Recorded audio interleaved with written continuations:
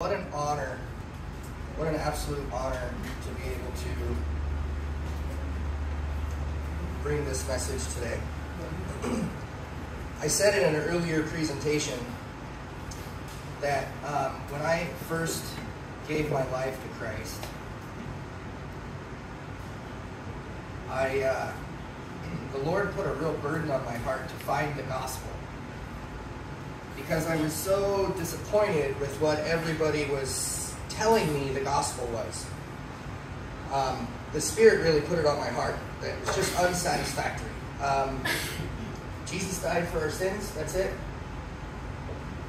There's got this, I mean, we're talking about the King of the universe here. Surely there's going to be something more to it.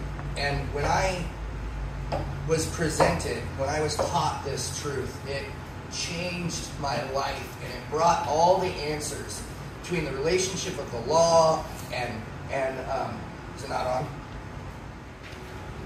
Technology. Definitely a love-hate relationship here.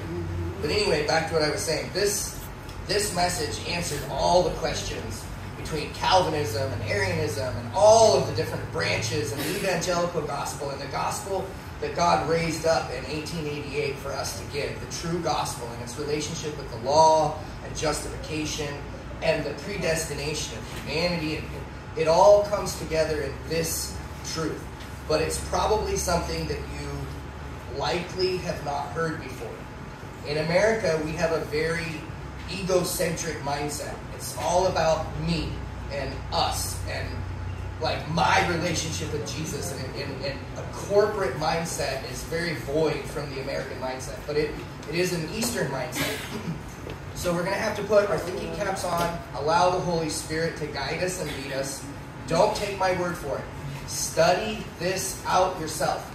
This, this message today, in my opinion, is the most important message about the gospel because it explains all the nuts and bolts of how God saved us how he made us righteous, how he justified us.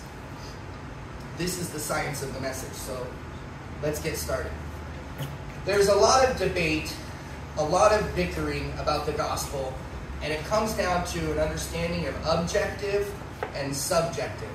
Does everybody know the difference between objective and subjective? Yes. No. So objective is, is a fact. It has nothing to do with you but the subjective is my experience. Let's go through this. Objective is a true or false, false statement. Subjective is our personal experience or feelings with something. So if I said fish swim, that would be an objective statement. It's a true statement. Fish taste good. Now that's a subjective statement. Some people don't like fish, some people do. Pigs can fly. Is this an objective statement or a subjective statement? Subjective. Objective, because it's either true or false. Pigs can fly. Chocolate's good. Is this objective or subjective? Subjective. Subjective. That's absolutely correct. Is God real? Is this an objective statement or a subjective statement? Objective. Objective. Objective statement. God is real. This is an objective statement. And He is a personal God. He's not some person way off in the distance that has nothing to do with us. He walks and talks with us every day if we listen. So here are some, and you should have all these in your notes. All of the scriptures I use in the entire presentation should be in your notes. So here are some scriptures about objective and subjective facts of the gospel. And I find a lot of times that a lot of the arguments that happen about the gospel is they're simple, simply arguing an objective side or a subjective side. Both are true. Both are true. So, what we're going to be talking about today is the objective message of the gospel. It doesn't have to do with our reaction to it, our participation to it, it has nothing to do with the subjective reality of the gospel. This is totally objective, what we read today.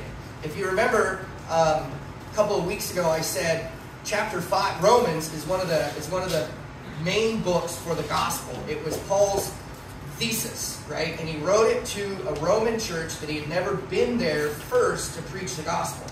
So when we go to the gospel, when we go to a book to find the gospel, Romans is the best one because he had never preached it, so he gives it in its raw form. and chapter 5 is the most important chapter, and that's the chapter that we will be hubbing off of. So Paul was knocked off of his high horse. Um, you could you could kind of say he was a, a zealot, equal to a zealot, what we consider a zealot today. He was out to sabotage the church, absolutely 100%. He wanted to destroy it and arrest everybody. But as what happens should happen to all of us when we meet Jesus, he knocks us off our high horse. And he instructed Ananias to go and to talk to him. Well, Ananias was terrified, right? We know who this man is. But Jesus said, Go, this man is my chosen instrument to proclaim my name to the Gentiles and their kings and to the people of Israel. So it was his chosen instrument to proclaim and to teach the gospel. It says in Romans 1 1, Paul, a bondservant of Christ, called as an apostle. Who was he called by? He wasn't called by man. Paul, called as apostle of Jesus Christ by the will of God. 1 Corinthians 1 1. 2 Corinthians 1 1. Paul, an apostle of Jesus Christ by the will of God, not by man. It says in Galatians 1 11 and 12, I want you to know, brothers and sisters, the gospel I preach is not of human origin. I did not receive it from any man, nor was I taught it. Rather, I received it by the revelation from Jesus Christ himself. Remember, he says, oh, we'll get there. In 2 Corinthians 12, 3 and 4, Paul, talking about himself, says, Whether I was in the body or apart from the body, I do not know, but I was caught up to paradise and I heard inexpressible things. He's going to try to teach us. In Isaiah 42 9, it says, Behold, the former things have come to pass. They're gone and done away with. A new things I declare. So let's open up our hearts to receive maybe a different perspective of the gospel that we had never thought of. And you also were included in Christ when you heard the message of truth, the gospel of your salvation. In Christ, this concept of in Christ is so pivotal. Of actually being in Him, in His birth, His life, His death, and His resurrection. Desire of Ages says, And the word that was spoken to Jesus at the Jordan this is simply my this is my beloved son in whom I am well pleased. Embraces humanity. Embraces humanity. God spoke to Jesus as our representative with all our sins and weakness. We are not cast aside as worthless. He hath made us acceptable in the beloved. Ephesians 1 6. The glory that rests upon Christ is a pledge of the love of God for us. Notice this reoccurring theme in Him, in Him. Paul, an apostle, sent not from men, nor by a man, but by Jesus Christ and God the Father. But even if we or an angel from heaven, any one of the three angels, as a matter of fact, if any one of the angels' messages contradict, should preach a gospel other than the one that we are preaching to you, let him be under a curse. None of God's angels, none of God's beings will ever give a message contrary to the true gospel that Paul was teaching. This is the heart of the three angels' messages. This is the heart of it. On the day when God will judge the secrets of men according to my gospel, Paul says in Romans 2:16. He's going to judge the secrets of men through his gospel. So we should probably be pretty familiar with what this is that we're going to be judged through. Paul wrote most of the epistles, and we can glean a lot of great information. So in Rome, Ephesians 3 111, for this reason I, Paul, be a prisoner of Christ Jesus for the sake of you Gentiles, Surely you have heard about the administration of God's grace that was given to me for you, that is, the mystery made known to me by revelation. So this was a mystery that was made known to him by revelation. As I have already written briefly in reading this, you will be able to understand my insight into the mystery of Christ. Obviously, speaking about Ephesians chapter 1 and 2. He's already spoken of that, which we'll get to. And it continues, which was not made known to people in other generations as, as it has been revealed by the Spirit of God to his holy apostles and prophets. This mystery is that through the gospel, the Gentiles are heirs together with Israel, members together of one body, and share together in the promise in Christ Jesus. I became a servant of this gospel by the gift of God's grace given me through the working of his power. Although I am less than the least of the Lord's people, that his grace was given to me. To preach to the Gentiles the boundless riches in Christ, and to make plain to everyone the administrations of this mystery, which for ages past was kept hidden in God who created all things. Now, that doesn't mean it's not in the Old Testament, but it wasn't revealed the way that it was revealed to the apostles, and specifically Paul. Continuing in Ephesians 3. His intent was that now, through the church, the manifest wisdom of God should be made known to the rulers and authorities of the heavenly realms according to his eternal purpose that he accomplished in Christ Jesus our Lord. Paul has revealed this doctrine in Christ as the mystery of Christ and wants to make it known plainly, right? In Christ. This is actually Paul's main theological point, the theme that runs through the New and the Old Testament. And the phrases that Paul uses a lot are not identical. So he uses in the Christ, in Christ Jesus, in the Christ Jesus, in Christ Jesus our Lord, in the Lord, in God, in the God, in Him, in whom, in Jesus. There are many ways where he expresses this idea. And as a matter of fact, if you go through, I did, I went through my entire New Testament and I marked up every place where Paul's referring to, and Jesus, referring to in Christ, this in Christ idea. And as you can see, it's it's clearly all through the theme of these first couple of chapters. But if you go to 4 to 6, he doesn't mention it at all because it's the foundation, it's the objective reality that brings us into subjective relationship with him. So the, the in Christ has, it does have to do with the subjective, it gets you to the subjective, but he's not mentioning it here. There's a distinction. But their minds were hardened, for until this very day at the reading of the Old Covenant, the same veil remains unlifted because it is removed in Christ. When we understand this thing, this thing that I'm going to try to share with you, the veil will be removed and we will see the gospel and what it said, what it means much more clearly. So if we wanted to study creation, where would we go? We would go to Genesis. Obviously, creation is spoken of in a lot of other books, so we would go to those other books also. But the main hub of where we would study creation would be in Genesis. What about prophecy? Well, you can find prophecy all through the Bible, but clearly Daniel and Revelation have a special, very significant role. Where do we want to go if we want to study the life of Jesus? The Gospels, right? Obviously. Where do we want to go when we want to study the Gospel? Romans and, and Paul.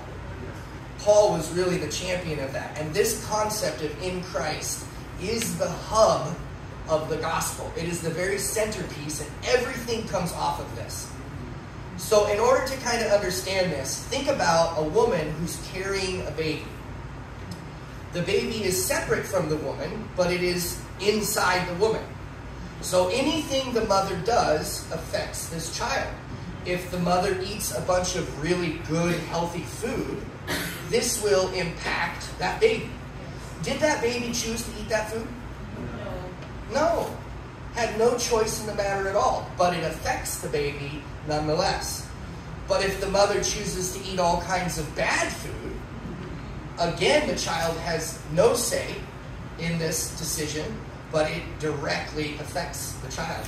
If the mother go, gets on a plane and goes from one country to another, is that child traveling from one country to another? Yes. It is not doing it, but because it's in the mother and the mother's doing it, the child is implicated. So if there's a plane wreck and the mother dies, what happens to the child?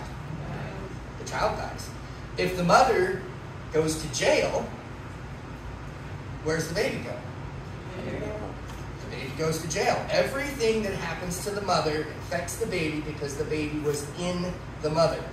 And this is what Romans 5 teaches us is that just as all humanity was in Adam, in his loins, in the DNA, therefore his condemnation spread to all humanity. And as we read, the same exact thing happens in Christ. Therefore, just as through one man sin entered into the world, and death through sin, and so death spread to all men, no choice in the matter. For if by the offense of the one the many died, for on the one hand the judgment rose from one offense, resulting in condemnation. For if by the offense of the one death reigned through the one, so then, as through one offense, the result was condemnation to all humanity. Because in Adam, humanity, in a way, obviously not in a feminine way, but in Adam and Eve, all humanity existed. Acts 17 26, for by one man he made all the nations that they should inhabit the whole earth, right?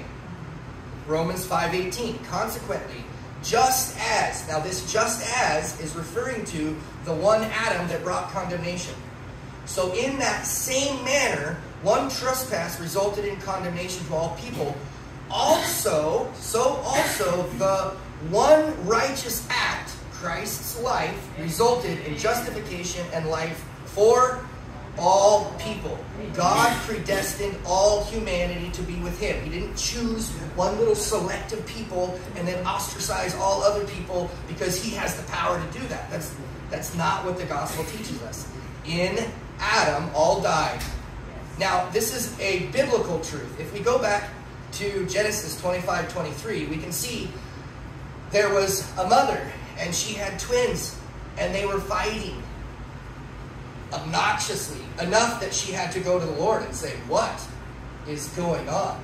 And the Lord said, There are two nations in your womb, not people, two nations. Because those people in them represented the entire nation that would come from them. Same thing in Hebrews. Paul, I believe Paul so I believe Paul wrote Hebrews originally in Aramaic, and it was translated into Greek, and that's where the confusion comes from. It's clearly his theology of the in Christ is found all the way through it. But it's a little muddled, and so I believe he originally wrote it in Aramaic, which makes sense because it was to the Hebrews. And then it was translated from there into the Greek, and that's where we get some questions. But in Hebrews 7, 4 through 7, see how great this man, Melchizedek, was to whom Abraham the patriarch. He gave a tenth of the spoils, and those descendants of Levi who received the priestly office have a um, commandment in the law to take tithes from the people. It is from their brothers, through these also are descended from Abraham. So Melchizedek got tithes from Abraham, even though Levi was in him, and Levi was commanded by the law to receive tithes. Paul goes on and says, But this man, Melchizedek, who does not have his descendants from them, received tithes from Abraham and blessed him, who had the promises. It is beyond dispute that the inferior is blessed by the superior, right? So if Melchizedek was receiving tithes from Abraham, and blessed him, then that means that the priesthood of Melchizedek was higher than Abraham, right? Because he was receiving the tithes and Melchizedek was giving the blessing. Right? That's what Paul's that's what Paul's saying here. The creator God bless you, right? And then Abraham paid tithe to Melchizedek. Back to Hebrews 7. It says, One might even say that Levi himself, who received tithes, paid tithes through Abraham. For he, Levi, was still in his loins of his ancestor when Melchizedek met him. Right? So, so are, you, are you getting what Paul is saying? The tribe of Levi existed in Abraham before it existed. Therefore, that tribe of people were actually paying tithes to Melchizedek, which meant the priesthood of Melchizedek was bigger than the priesthood of the Levites. Does that make sense what Paul's trying to bring out here? But there's also the corporate, the fact that Levi was in his ancestry, and he did the thing that his ancestor did. Does that make sense? Are you, are you lost? Are you with me still? So let's try to go over this again. Okay, Levi paid tithe and received a blessing from Melchizedek in Abraham. Blessings and payments. So the baby of Levi in Abraham was making payments and being blessed by Melchizedek. So in Romans 5.18, Ephesians 2.10, 1 Corinthians 1.30 are just three places that clearly talks about us all in Christ. So you all are created in Christ Jesus. And actually 1 Corinthians 30, which we'll get to, says that we are in him by the Father the second mankind, the second Adam, right? Ephesians 2:10 For we are created in Christ Jesus. And this goes on to say to do good works which were prepared beforehand so that we should walk in them. So the righteousness that we are to walk in is already done. It's already completed in Christ. For by his Father's doing, you all are in Christ. 1 Corinthians 1.30. Ephesians 1.4. For he chose us in him before the creation of the world to be holy and blameless in his sight. All the nations of the world in Christ. Consequently, just as one trespass resulted in condemnation to all people, so also one righteous act resulted in justification and life for all people. Now, I like to, this isn't necessarily a biblical fact, although I believe it's true. One of the ways that I like to try to explain this is the human body has trillions of cells. It's not beyond God to put every single person who has ever existed DNA strand into a single cell in his entire body. So his entire body shared the DNA strands of all humans. Of course, it could have been the original DNA. Uh, there's lots of different ways that he can do it, but I, I believe that this is a, a good way to try to understand what Paul is saying here. That you, your DNA, your existence was literally in Christ. Literally. We also find this in the Old Testament. So this isn't something that's new or fanciful. Genesis 3.15 and I will put enmity between you and the woman, and between your seed and her seed. So we have the likeness here of the woman, which is obviously it's Eve, but it's also of the church. It's of a multitude of people. And it's also referenced into his seed, singular. So we have a singular reference and also the multitude reference. We go into Genesis 12 3. And God says to Abraham, In you all the families of the earth will be blessed. When Gabriel came, he said to the shepherds, I share good news of great joy for all mankind, for all people, right? For all the land, in Genesis 13, 15, for all the land which you see, I give to you and your seed, singular, forever. And I will make your seed, singular, as plentiful as the dust of the earth so this singular seed will be as, as much as the dust of the earth. For anyone who can count the dust of the earth, then your seed could also be counted. Clearly, the scriptures are bringing together this concept of from a singular person, there will be a multitude. In Isaiah, this is actually one of the reasons why they can, uh, the Jews can dismiss dismiss Isaiah 53, because earlier in the chapter it talks about the nation of Israel being the servant. So it waffles back and forth in Isaiah from being a single servant to being a nation of servants. Right? So here in 43, 10, and 11, you are my witnesses, declares the Lord, and my servant from whom I chose, so that you may know and believe and understand that I am He. Before me there was no God formed, and there will be none after me. Okay, I just want to pause. Jehovah Witnesses like to say a lot. They use this, they, they like have really taken this verse for themselves, right? That they are the witnesses. But then when you bring into John 1 1, where it says that there was the Word and he was with God and he was God, they say, oh, well, he's a little God, he was created after. well, this verse right here, let me see.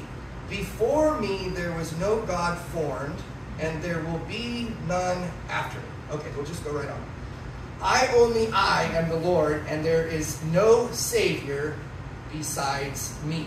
So this is talking about the nation of, of Israel being the witnesses. But when we get to Isaiah 53, behold, my servant will prosper. He will be high and lifted up and greatly exalted.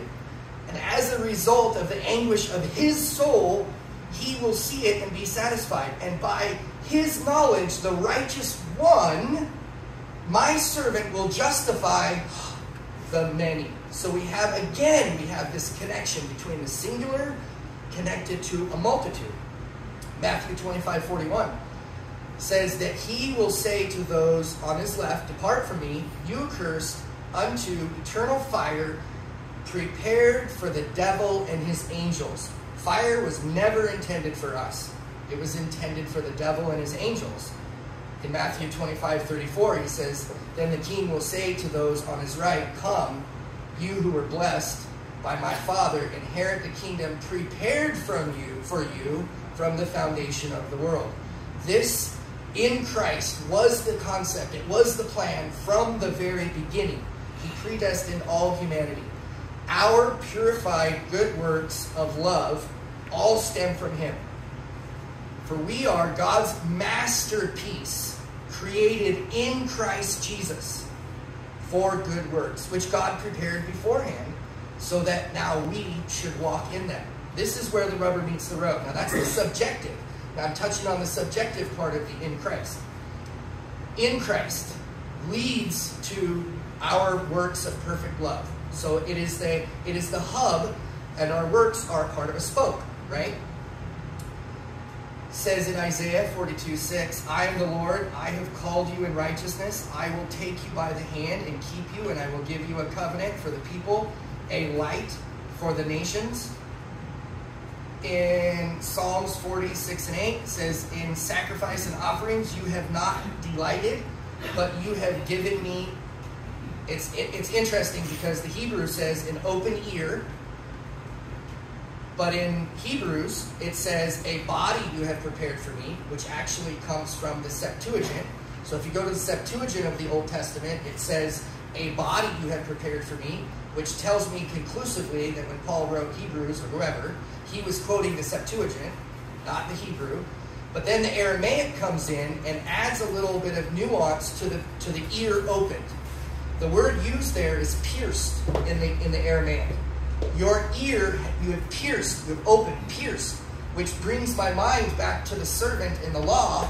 If he wanted to permanently serve, his ear was pierced. And so I think that that's actually a connection to Christ submitting himself to being his permanent ser- servant in, in the flesh, right? But a burnt offering and sin offerings you have not required. Then I said, Behold, I have come in the scroll of the book, it is written of me. I delight to do your will, O my God. Your law is written within my heart. The new covenant first had to take place in Christ. Christ was the promise of the new covenant. This new covenant is one of the spokes. In Matthew 4:11, 1 through 11, Jesus is being tempted. He was tempted at all points and even shed his own blood. But when he was tempted, he kept faith. He kept perfect faith. Our flawed faith cannot save us. But Christ's perfect faith in the Word of God and the Father is what saves us. It says in 1 Timothy 1.14, the grace of our Lord Jesus was poured out on me abundantly along with the faith and love that are in Christ Jesus. This faith and this love is found in this hub, in Christ. Romans 3:31. Do we then do away with the law by this faith? Now this is a poorly translated verse.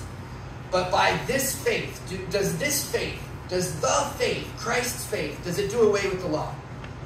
On the contrary, most translations say we uphold the law, but the we is italicized. The we is not in the Greek.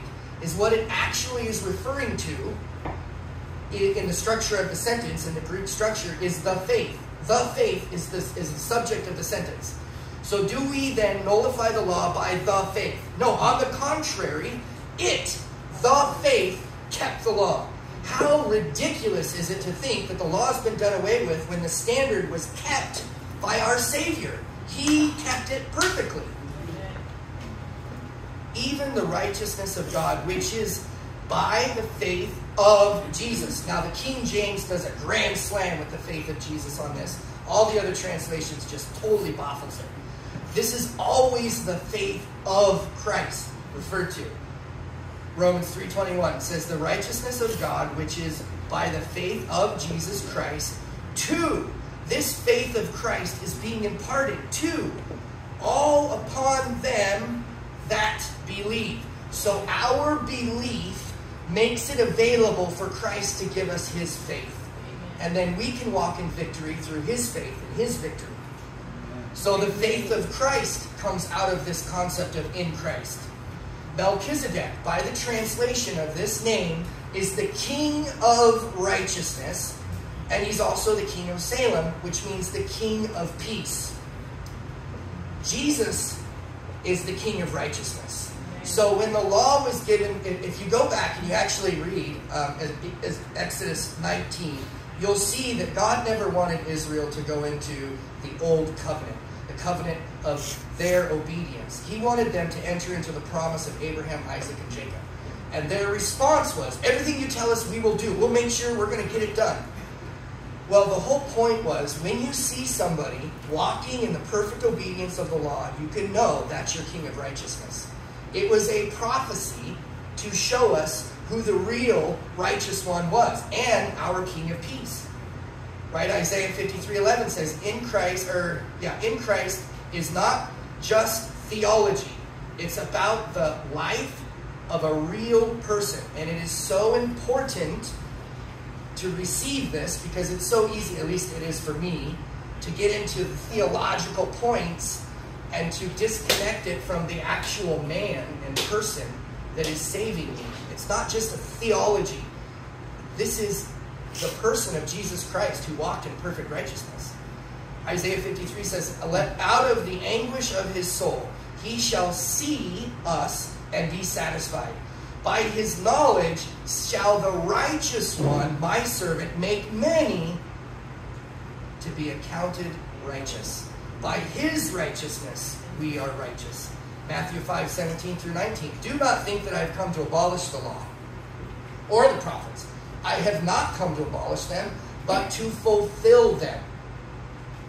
For truly I say to you, unless heaven and earth pass away, not a, not an iota, not a dot, will pass away from the law until all is accomplished. Therefore, whoever nullifies one of the least of these commandments and teaches others to do the same will be considered the least in the kingdom of heaven. But whoever does them and teaches them will be called great in the kingdom of heaven. Jesus and the gospel did not do away with, it did not erase the law, it fulfilled it. He says to John, it is proper for us to do this to fulfill all righteousness. Right? So when Christ was being baptized, he was being baptized for all humanity. So when the thief on the cross said, Lord, remember me, he didn't have to get off the cross and be baptized. Christ's baptism was given to him. Daniel 9:24.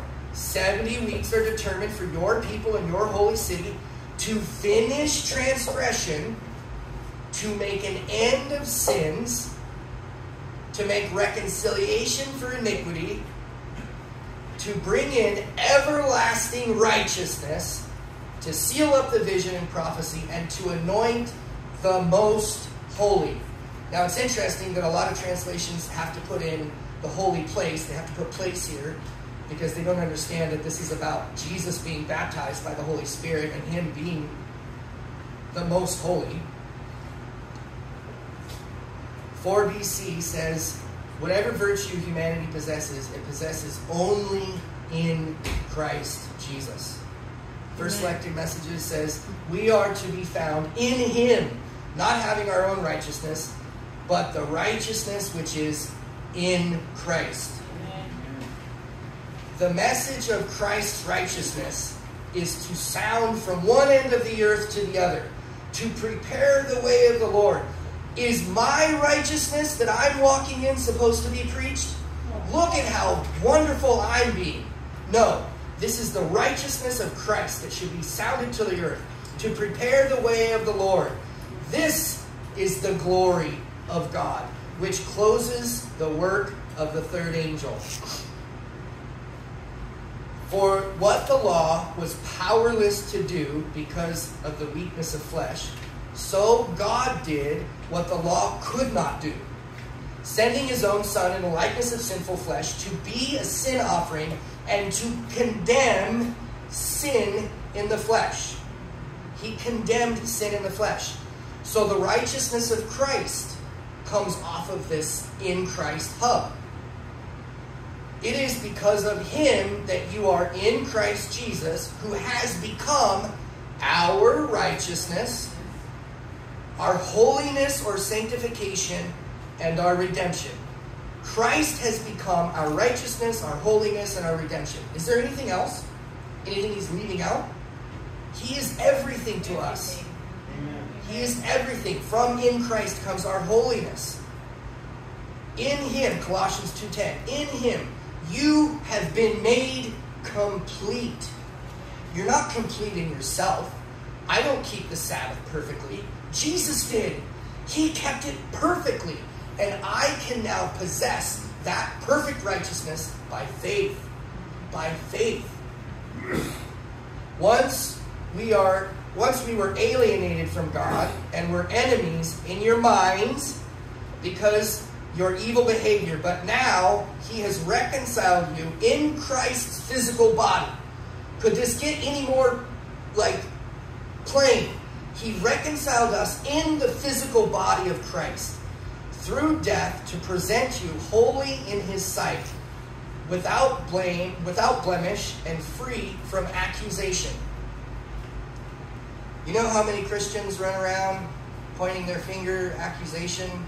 This person's doing this sin and they're not saved, and this person's doing this sin and they're not saved.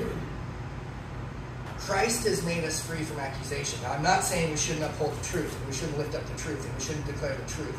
But we must be careful to not become the accuser of the brethren. Amen.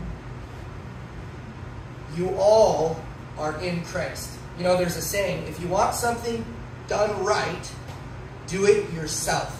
One of the things I love about God, I love about God, is He He has me participate in so much stuff. I feel like so many times I feel like God's carrying a bag of groceries, and I'm like, and I'm carrying it with Him, and He's just letting me take the glory for carrying this bag when He's got it the whole time.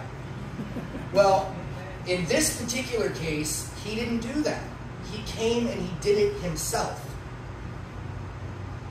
Or do you not know, brothers and sisters, for I am speaking to those who know the law, that the law has jurisdiction over a person as long as he lives?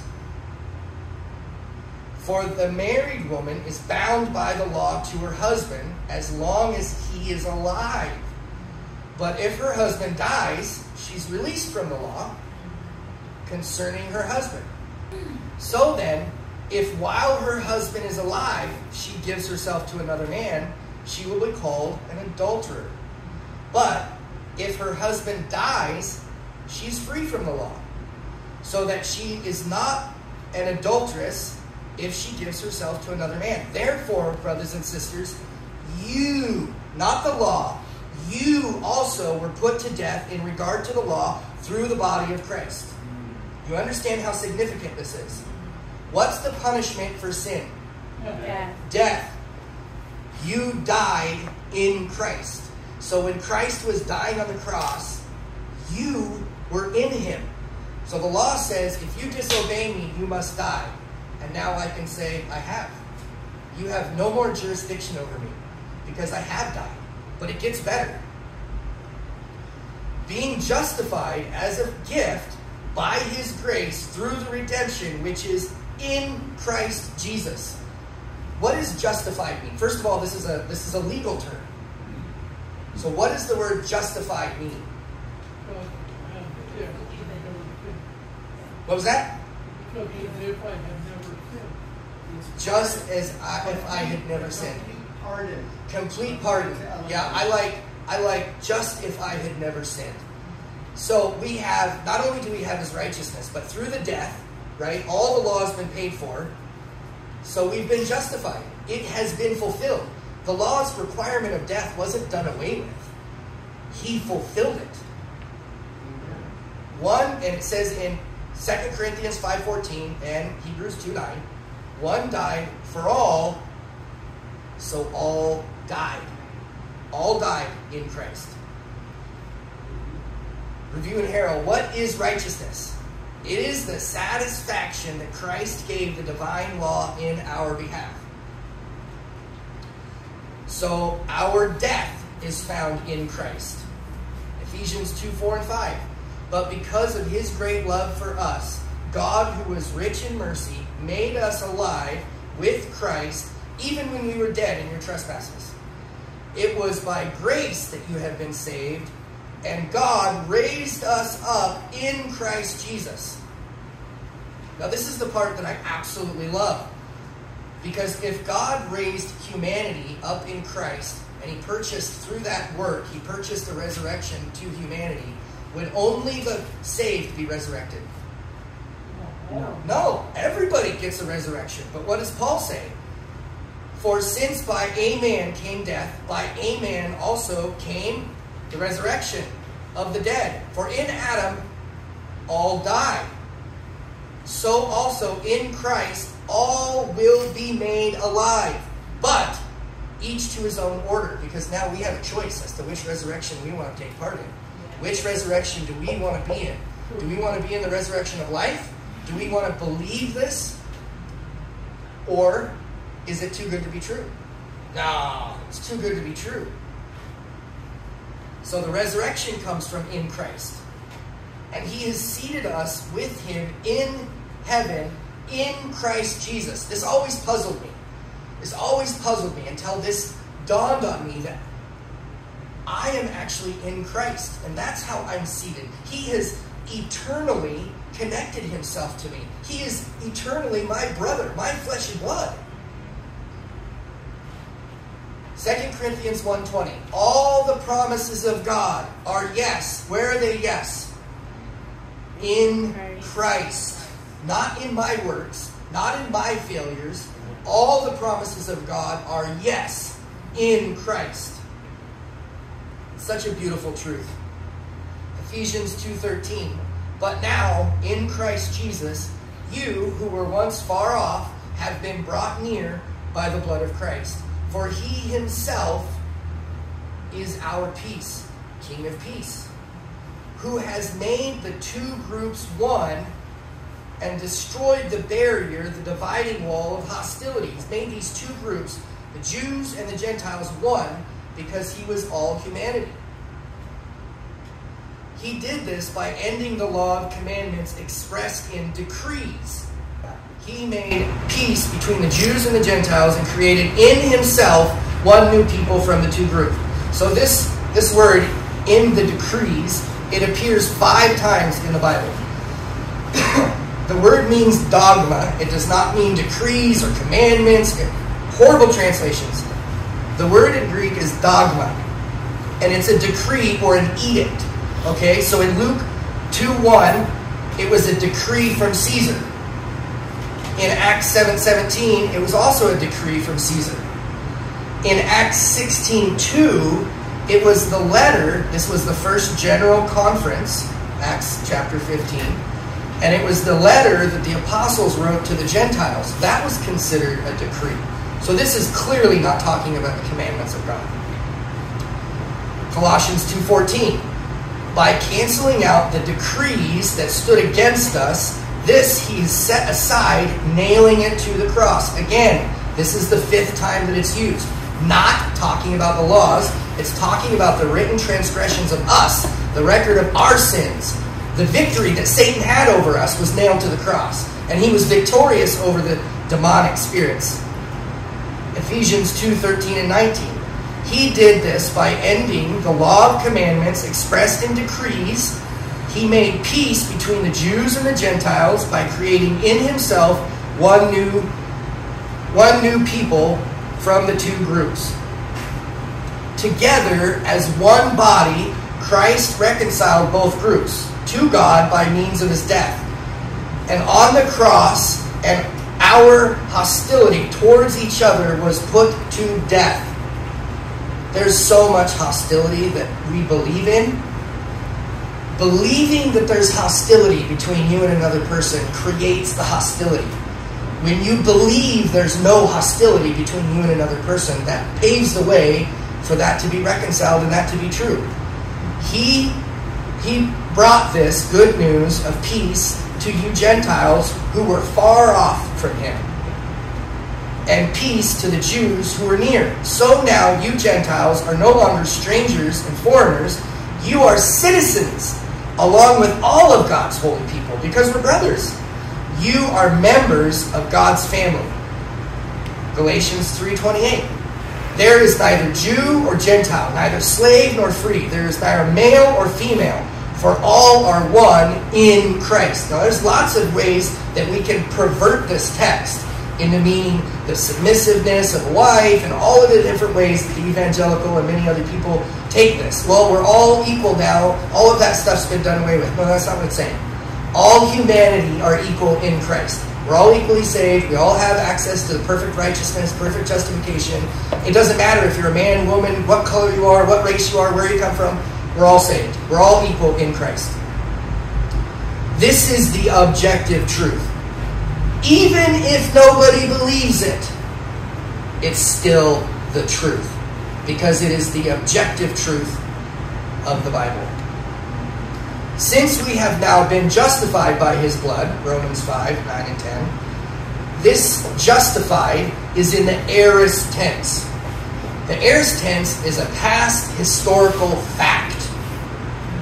So we have now been justified, past historical fact, by his blood, by his life, death, birth, life, death, and resurrection. One of my pet peeves, I just have to confess, is when I hear somebody say, Oh, I was saved last week. I came to Christ and I, I was saved last week. Mm, no, you weren't saved last week. You realized last week that you were saved 2,000 years ago by Christ. 2 Corinthians 5.19 For God was in Christ, reconciling the world to himself, no longer counting people's sins against them.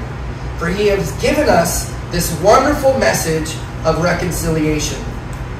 That God made him who knew no sin to be sin for us, so that in him we might become the righteousness of God. Ephesians 2, 1, 10 through 12. that in the dispensation of the fullness of times he might gather together in one all things in Christ, both which are in heaven, which are on earth, in Christ. In him also we have obtained the inheritance of being uh, predestined according to the purpose of him who works all things according to the counsel of his will. His will is for all to be in heaven. That we who first trusted in Christ should be uh, should be to the praise of his glory. The union of the divinity signs of the times. The union of the divinity with divinity with humanity brings to the fallen race a value that we scarcely comprehend.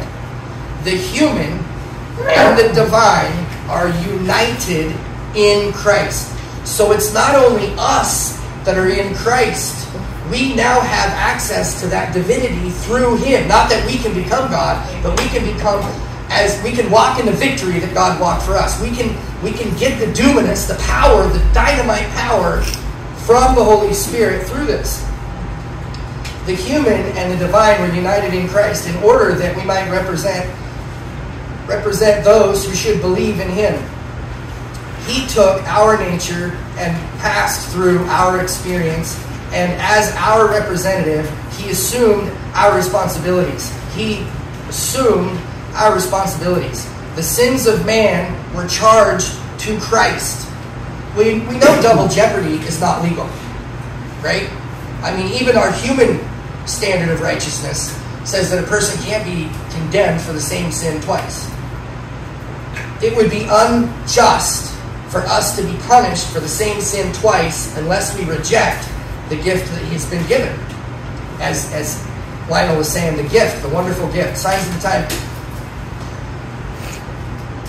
Innocent though he was, he, he engaged to suffer for the guilty that through faith in him the world might be saved. Oh, what compassion and love are here revealed. How is humanity exalted through the merits of Christ? His sacrifice was ample and complete. The Holy One died instead of the unholy. He clothed himself in our filthy garments that we might wear the spotless robe of his righteousness, which was woven in the loom of heaven. Justice. Let's talk about justice because this is something that this truth of in Christ touches on in a way that I have not seen anybody else touch on. Substitution is a word that's used in the Bible a lot for Christ, and he is our substitute. But the nuts and bolts of the gospel go much deeper than just a substitute. And a substitute is actually offensive to a lot of other religions that understand substitution is not justice. There's no court on the earth that will take a substitute. Even though Jeffrey Dahmer's mom said, I will die for him. No, no, that's not justice. That's not justice. And this truth goes right to the point of this. The law requires perfection in thought, word, and deed, or you die. We have both a negative and a positive side to righteousness and guilty. For whoever keeps the whole law and yet stumbles at just one point is guilty of breaking it all. Romans 5:18 Consequently as one trust as one trespass resulted in condemnation for all people by the trespass of the one man death reigned through the one man for we know that the law is spiritual, but I am unspiritual, sold as a slave to sin. Anybody know Richard Dawkins? He's one of the most famous atheists and evolutionists on the planet. He said, if God wanted to forgive our sins, why did he just not forgive them? Who's God, who is God trying to impress? Presumably himself since he's judge, jury, and execution victim.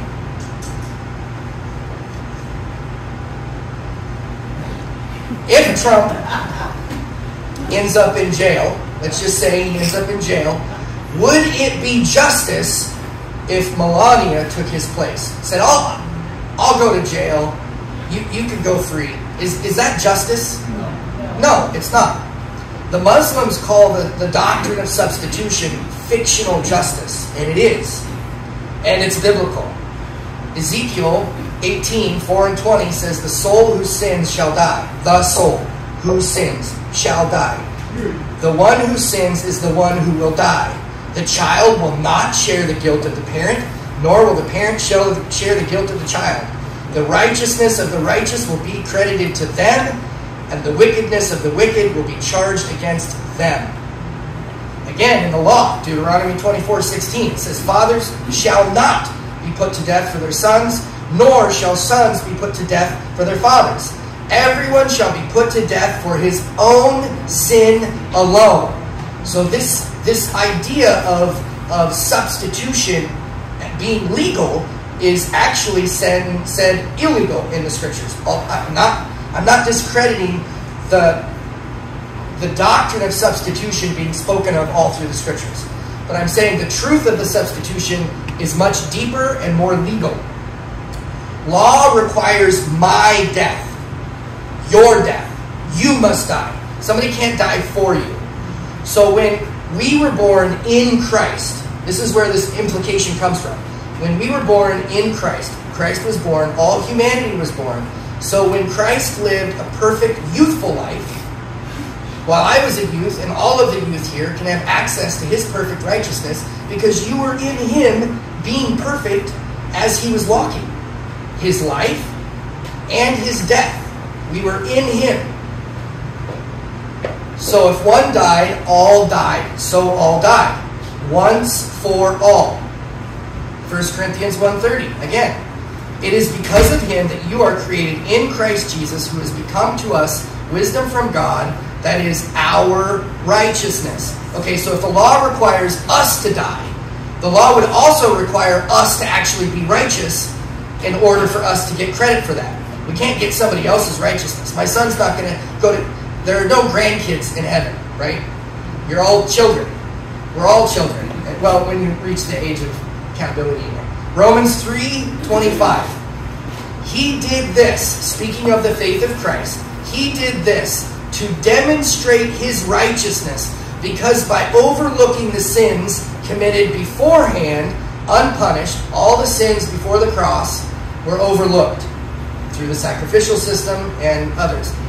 He did it to demonstrate his righteousness at the present time so that he would be just and the one who justifies the one of the faith of Jesus. So, with this doctrine of us being in Christ, God is just to forgive us because the punishment for the law has already been committed. The righteous requirement of the law has already been fulfilled. Therefore, God now has the legal right, the legal right to forgive us. And this is what Satan said he couldn't forgive us for because he's righteous. He can't just forgive us, but God is so much more brilliant. He is so much more brilliant. Love is just. So he, God is love. He can't just wipe it away. He has to actually get in and do it for us. And he did. Again, Ephesians 2:10. For we are God's masterpiece, created in Christ Jesus, to do good works which God prepared in advance for us to walk in. His righteous life is a gift to us. His Sabbath keeping, his obedience, his faith. But their minds were dull, for to this day the same veil lies over those who read the old covenant remains when the old covenant is read. It has not been removed because it's only removed in Christ. Once we understand this concept that we actually have righteousness because of what Christ did, because we were in Him, we actually have justification. We have holiness that we can receive by faith. Real holiness, real righteousness, not just not just our will. So what does this do? This really brings this really does bring a freedom from the law. It, it really does bring a freedom from the law. But what I like, what I re- this, a story that I really like to share that gives that gives the truth, that tells us the truth behind the heart, right? Because the new covenant is God's laws written on our heart. And I will forgive your sins. So those are the two things. Well, we've all seen the movies or we've all heard the stories where somebody had diplomatic immunity and they sped on purpose. And they did drugs and they got into all the criminal activities because they're exempt. Right? Well, this behavior tells us something very important about their heart. Their heart is unconverted. Even though they have freedom, they're using it for an excuse for evil. But then on the other side, you can have diplomatic immunity and you can try to obey all the laws and you can do your best to do everything you can to be loyal to the government or to the God that you serve. but you're still free. And it's what it does is it reveals where your heart is. Has your heart been converted? Do you want to obey him or do you not? Peter says it beautifully. Live as free people. Live as free people. Diplomatic immunity. But do not use your freedom as a cover up for evil.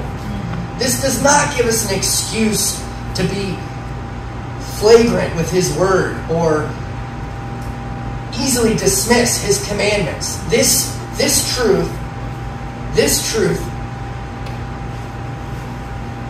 should create a burning within us to be obedient to his will because of his amazing love and the feet that he has given us. This diplomatic immunity cannot be trampled. We cannot trample this immunity. We have to do all that we can to be in his glory and to honor him. You know, one of the things I heard today in this beautiful song was how can I express a response of love for you? It's our free will obedience that we respond to him in loving one another. It was not your choice to become a sinner, but it is your choice to stay one. And it says in Ephesians 1:13, "You also, after listening to the truth, the message of the truth in Christ, the gospel of your salvation, having also trusted, so you heard it, now you need to trust it. And if you heard it and you believe it, you are seeing